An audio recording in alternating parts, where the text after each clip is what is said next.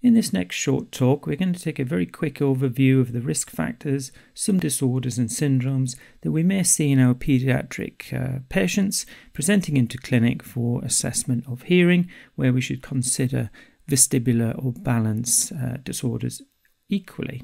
To give an overview of some of the central disorders of balance, so again, we're, talk- we're talking a lot in these trends of pediatrics around hearing, and uh, rightly so. However, Amongst those with some hearing dysfunction, we may also see patients who are presenting with uh, disruption to balance or motor commands that may have a central origin. So, having a little bit of insight into that uh, is always uh, useful.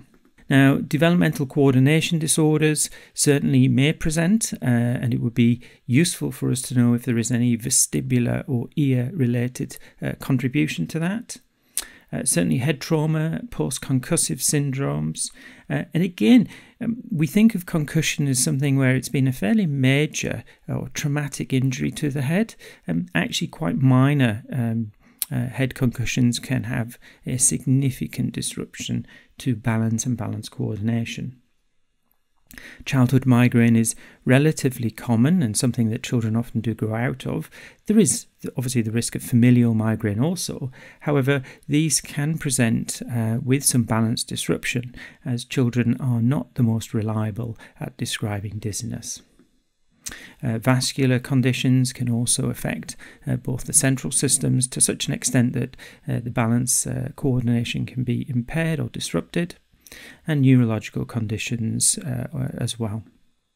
Epilepsy uh, should also be considered um, because that may also present with some balance disruption. Uh, syncope, typically in the slightly older child, uh, we certainly see uh, postural hypertension when they stand up too quickly and become quite lightheaded and imbalanced. And not forgetting demyelinating disease such as multiple sclerosis. There are quite a few articles that uh, look at the prevalence uh, associated with vestibular disorders in children.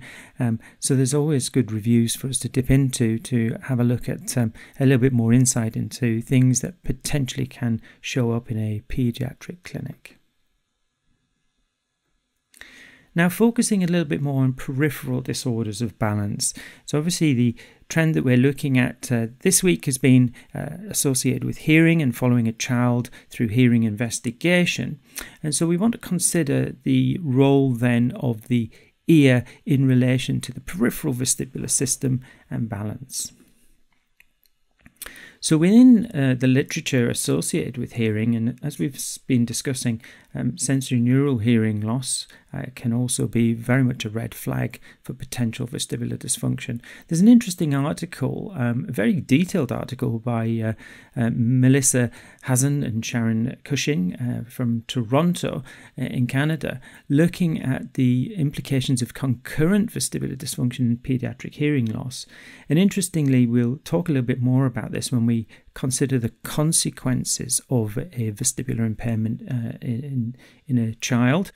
Um, but again, some of the data that we see within this does give us an indication of some red flags that we may want to then uh, look out for when we're in our pediatric clinic. So, to summarize some of the potential red flags for infant vestibular impairment that we may see in our pediatric audiology clinic, and um, we can group those into a high, medium, and low risk.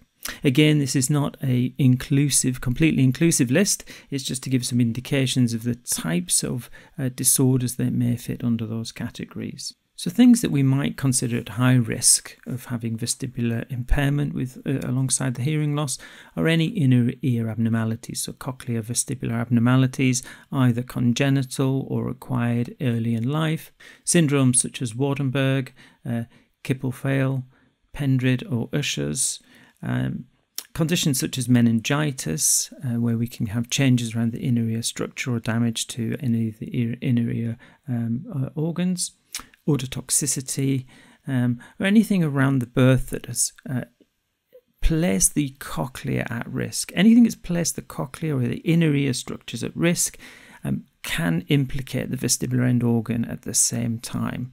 And often that is possibly the bit that we may overlook when we're concentrating solely on the, on the hearing. Uh, things at medium risk, so congenital CMV uh, and changes around the um, the vascular structures in the inner ear uh, being vulnerable, and then other viral uh, infections that can place that structure also at some degree of vulnerability. We mustn't forget that children with chronic ear infections or otitis media, CSOM, can also um, have disruptions going into the vestibular end organ.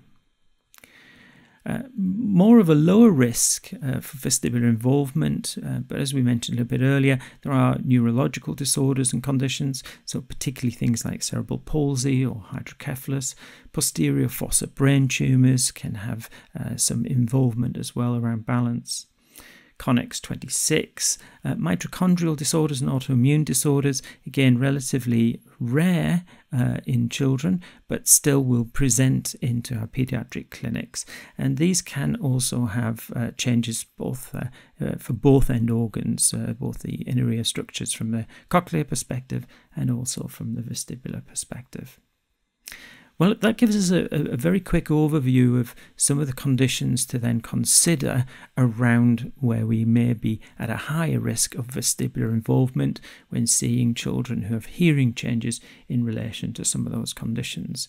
So we'll pause at this point and then we'll get ourselves ready to consider how we can then best assess these patients.